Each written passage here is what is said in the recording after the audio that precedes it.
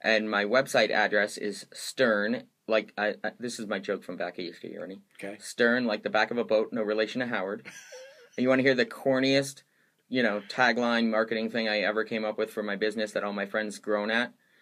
If you're sh- wait, hold on. If your business is sinking at the bow, head for the stern. Okay, it's awful. It's awful, but I still love it. But anyway, but no one else. They tell me not to say that.